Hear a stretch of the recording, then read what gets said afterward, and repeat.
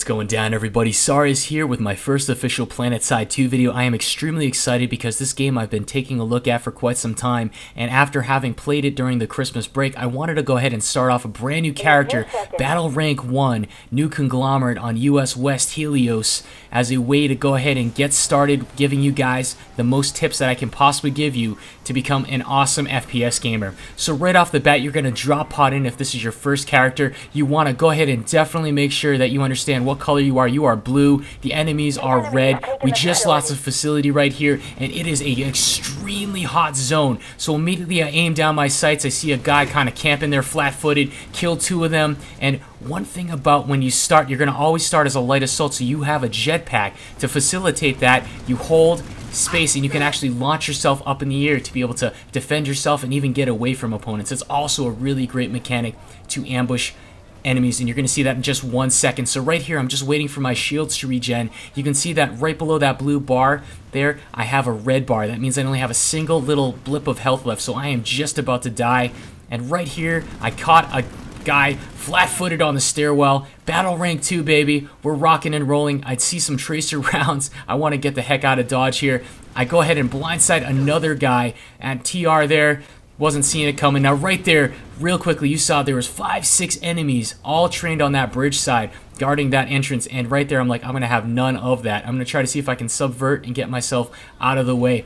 It's really important that you pick and choose your fights because the NC, even though they did get a recent weapon buff, still have the underdog class weapons in my opinion and in many others opinion as well that's why you have to make sure that you get the jump on your enemies now right here things are going to kind of go downhill from here i did wanted to go ahead and bug out so I could get away from all of the enemies. Unfortunately, I am compromised at this point, so I start taking rounds here. I try to go ahead and do a little bit of zigzagging and making use of my jetpack to make myself an even harder target. Unfortunately, I am in an enormous kill zone because the enemies are right behind me above on the ledge, so they're on overwatch. And as I'm just about to get across the ridge to go ahead and fall back, I get killed by a Ram 50 cal user. That is an awesome rifle, by the way. The equivalent to the NC weapon would be the LA-80, or many people like to call it the a the Lady, because it just does so much damage. So I did get out sniped here. We are at risk of getting warp gated, meaning that we are losing control of all of our points at this point, and I'm going ahead and spawning into the nearest adjacent base to try to see if I can help add to the defense layer. But as I'm just about to turn around and head out the base, I noticed that a drop pod had just jumped down and I didn't see a friendly indicator. And it looked like our point alpha did start getting capped. Sure enough, there was an enemy right there ready, trying to take the point from us right from behind us. I was able to stall him momentarily, but now, after having recapped the point, I went ahead and left the base to my friendlies and I wanted to go ahead and work my way upwards so that way I could try to see if we can expand and try to prevent our base getting completely capped. And after mopping up that single attacker that tried to take our base, I headed eastbound across the road to try to take this Terran held tower.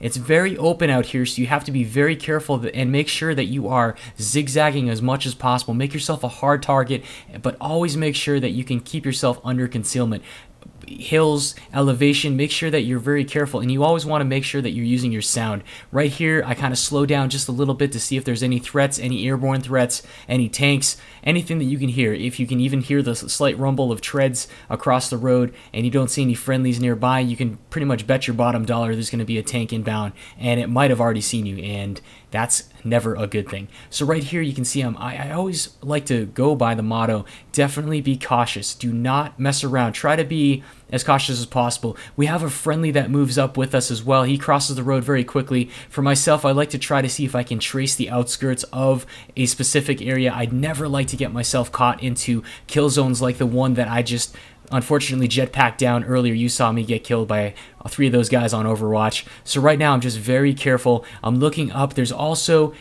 the launch pads that you have to be very careful. And right there, I saw a little bit of a silhouette of a figure there. I started just burst firing ever so slightly to try to put some rounds down range on that guy. Sure enough, I was waiting for him to pop up. He pops up again. He was trying to, see, I think he was trying to see where the bullets were coming from. I think he saw me.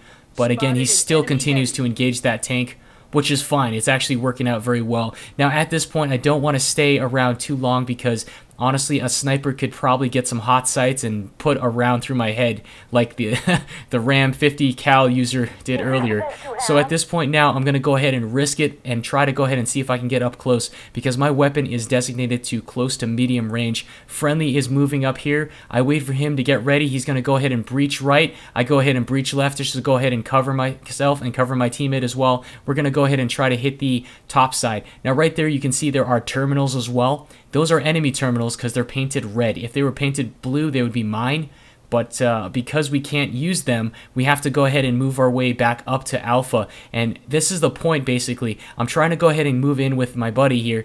And instead of going directly into the point and risking getting us both killed, I go ahead and wait here at the stairwell to try to see if I can go and provide some cover. It's always good to ambush because the NC weaponry is not nearly as superior as the Vanu technology, and I believe that it only now has been buffed to kind of fight against the TR a little bit more effectively.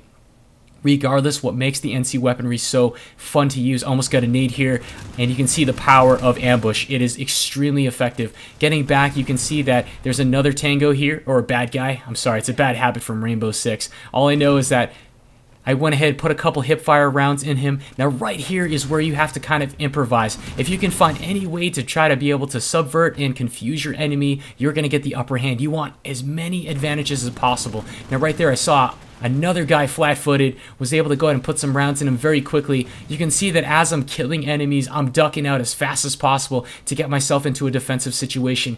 I'm one of these types of characters that really enjoys the aspect of being able to keep people flat-footed and keep them guessing as to where I'm at. It's just a good habit to get into I remember this from my Battlefield 1942 Desert Combat mod days with Rabid Clan. Props, by the way, if you guys are out there listening. But honestly, these guys taught me and they built me from the ground up to really focus on the adversarial aspect because anybody can click and aim and have a point and click adventure, but very few people can actually strategize and actualize their strategies on the go. And that's one of those things that you really want to make sure that you're doing. Now, right here, you notice that I'm constantly zigzagging. I don't want to give a sniper or any kind of marksman a clear shot, especially tanks, by being able to mess up their reticles, their splash radius likely won't be able to kill you in a single hit. Usually it'll take a follow-up shot. Now right here, as you are taking corners, you definitely want to aim down your sight. I like to call it ADSing and a lot of other gamers like to do that too because it gives you full accuracy. You can see that when I'm firing from the hip, the crosshair is pretty wide, but when you go ahead and zoom in, you can see that the crosshair goes nice and tight. So the only thing you have to worry about at this point is recoil and also making sure that you are compensating for the horizontal uh, recoil as well. So at this point now, you can see that I'm very cautious. I don't like to go directly into points. There could be mines there. There could be all sorts of nasty stuff. Speaking of which, if people are enjoying this video and you want to see some more as well, let me know, guys, because I want to go ahead and share with you a more three-dimensional view of how to become a more competitive gamer as well. And this also these tips that I provide here are also going to cater into just about any game FPS oriented that you're going to play, even co-op games because it all requires thinking on your feet and trying to be as mobile as possible. Now, right here, I wanted to make sure that I wasn't being followed.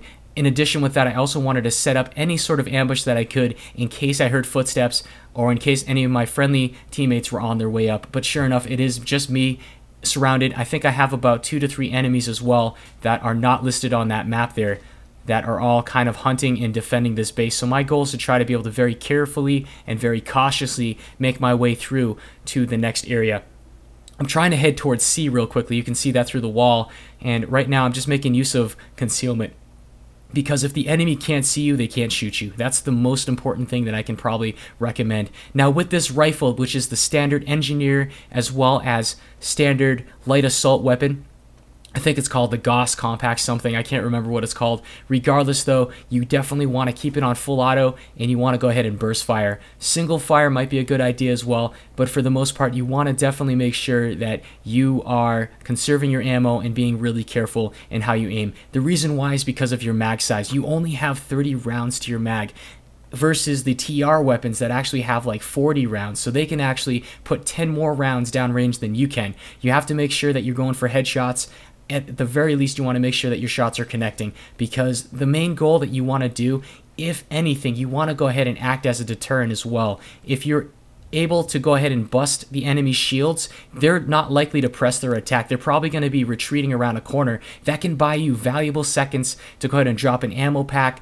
to go ahead and suppress the target for your, your team, and also be able to even set yourself up so you can counterattack and you can ambush. So right here, I don't like to enter through doorways because they are very much so easy to shoot through. You can see there, it just open. There's no doors in this system right there I do start taking rounds and as you can see how easy it is to be able to detect Enemy. enemies when they move around through door doorways. So right here, I know that that would be a bad thing because I would have eaten a grenade if I got too cocky. So I go up to the second level where there's another opening. Now, windows are good and bad at the same time because you can see he was right on top. He knew I was going to either go from the bottom level or the top and sure enough, there was a grenade that got sent through that window. So at this point, I have a feeling this guy's going to start pressing his attack I go and fall back a little bit because I want to go ahead and make sure that what I'm doing is maximizing my chances of survival.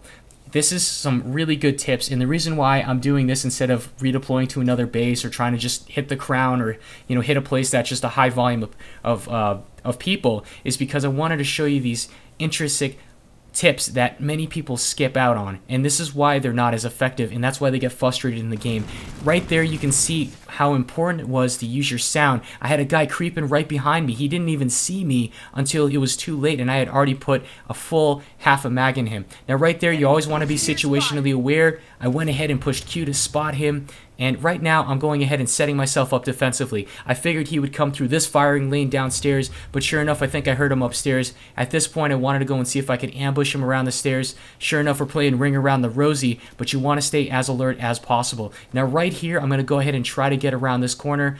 Made sure a quick scan said that everything was okay, and watch to the right side. He comes right through that right door, and I take a couple rounds to the head. I almost died, but sure enough, I was able to get the jump on him because I strafed around that corner. I had a feeling he might have a buddy with him, so I went ahead and fell back to just get my shields repaired again. You can see I'm very low on health yet again. And I'm making use of cover as much as possible. Now, at this point now, I went to go back to Charlie to try to see if I could cap it to try to focus their attention to bring them over here, so they had to recap it. But uh, sure enough, by this time we had already lost adjacency, meaning that there were no adjacent bases to connect to this one, meaning that what I was doing essentially became a futile attack. So I wanted to go ahead and restock myself. At this point, I found a nice crevice here. It's easily defendable and it's very unlikely that people would be attacking you from the top side. So I went ahead and dropped an ammo pack. That's a really nice perk that engineers get to do. You can just see the map here. It's just all red. The Terran Republic had just completely steamrolled us on Esamir here. And they're doing a really, really good job against the Vanu as well. So you can see that there's really no adjacent bases for me. I'm really deep in. And at this point now, I figured, you know what, I'm just going to probably call the quits here but guys, I hope you enjoyed this video. I want to hear what you guys think. If you want to see some more PlanetSide 2 footage, I want to go ahead and give you as many tips as I can. And I want this channel, I want Sarius games to be more three-dimensional than just co-op games. I want to go ahead and bring some element of the competitive aspect to it because that's really where my background was. I'm not saying that I'm a pro gamer by any means. There are plenty of people that can wipe the floor with me. But straight up, dudes, I just wanted to go ahead and share what I know to make your gaming experience much more enjoyable in any game that you play. So everybody, if you like this video, please do me a favor, guys. Please give that like button a little bit of love. And if you want to subscribe for more videos, please do that as well, guys. I want to hear your feedback. Rock steady, everybody. This is Sarius. We'll catch you guys on the flip side, and hopefully we'll have better luck tomorrow. Peace out, y'all.